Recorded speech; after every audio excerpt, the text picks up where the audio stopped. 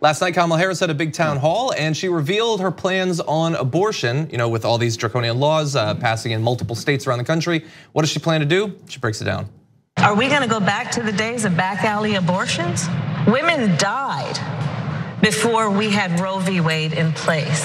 And so I'm gonna tell you, on this issue, I'm kind of done because here's how I feel about it, guys. Let me tell you.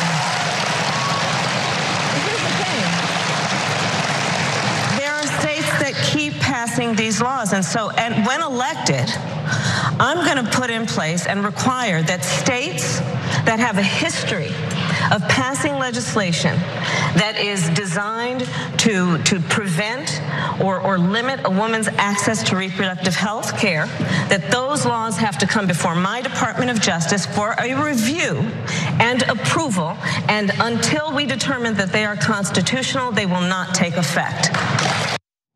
So that is very interesting because obviously that was the case when it came to civil rights legislation protecting the right of, uh, of access to voting in a number of states that had little interest in it for the entirety of the time that the US has been a country. Um, applying that to another issue is not something that I've generally heard about. And uh, we know that as with voting rights on abortion, we, we are engaged in a multi-generational battle over this.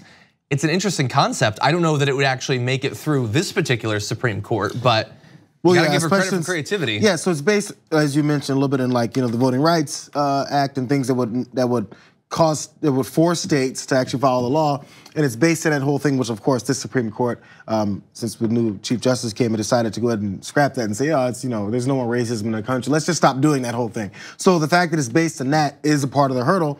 But I don't see anything wrong with uh, giving it a try. Mm-hmm. Why not? And then because honestly, who cares if you don't think racism doesn't exist anymore? It's obvious. But also, what's obvious even more in this particular case is opponents of women's reproductive health care, which by the way, I like that term a lot better because that's what it is. Mm-hmm. When you encompass it all and say, oh yeah, we're totally pro-life, you're actually stopping access women have to their reproductive health. Yeah.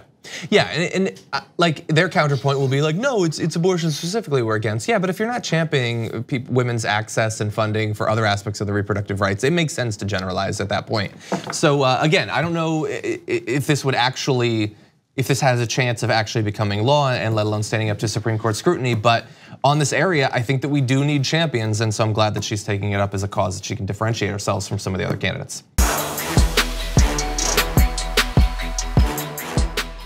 Thank you very much for watching this clip from the Damage Report. If you liked it, don't forget to subscribe to this channel and ring the bell on YouTube to get notifications of our new videos. And of course, you can catch the full Damage Report live every weekday at 1 p.m. Eastern, 10 a.m. Pacific on TYT Network on YouTube TV.